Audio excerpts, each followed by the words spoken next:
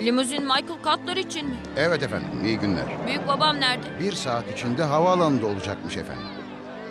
Cutler, Evet efendim. albay seni görmek istiyor. Hemen efendim. Sen bekle.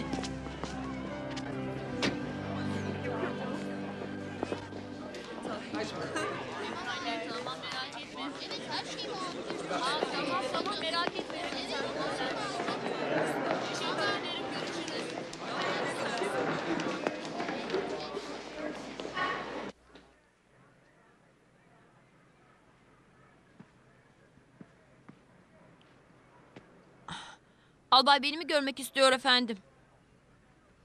Baban görmek istiyor asker. Babam mı? Evet, seni eve götürmeye gelmiş. Merhaba Mike.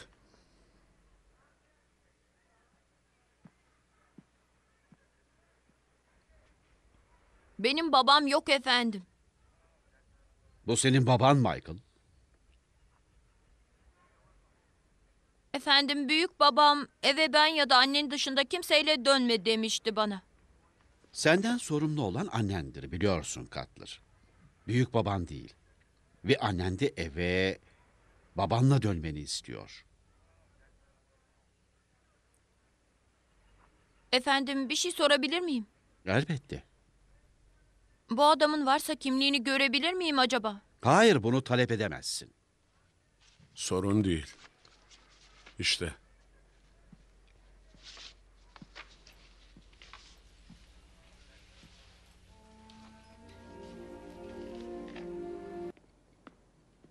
Gelsene Havk. İçki ister misin? Rahatlarsın biraz.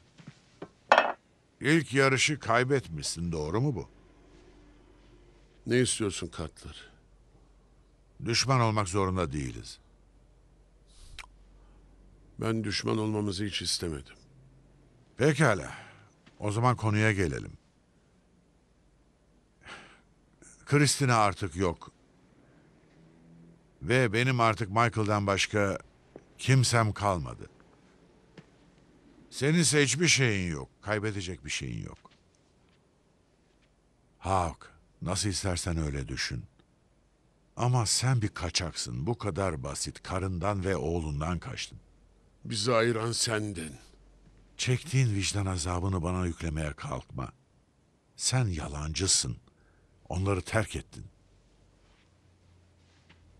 Bitti mi? Hayır Hak bitmedi daha.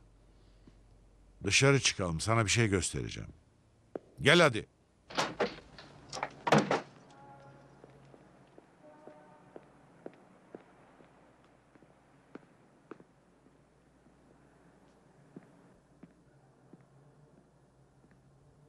Aşağıda park yerinde otelin tam önünde dünyanın en pahalı aracı duruyor. İstersen senindir. Al sana tam 500 bin dolarlık çek. Al ve hayatımızdan defol. Ne yapmak istiyorsun? Çocuğun velayetini aldım, belgeyi imzaladım. Daha ne istiyorsun? Hayatını kolaylaştırıyorum Havk. Michael'ı bilet gibi kullanmana gerek yok. İstediğin burada. Bak kamyoneti al, parayı al. Yeni bir hayat kur kendine, yeni bir aile kur. Benim ailem var. Bu iş bitince gelip onu alacağım. Yani sözünden dönüyorsun. Evet. Velayetten vazgeçtin. Michael seninle gitmeyecek. Sen bir serserisin. Ve öyle kalacaksın. Bay Cutler seninle konuşuyor. Konuşma bitti.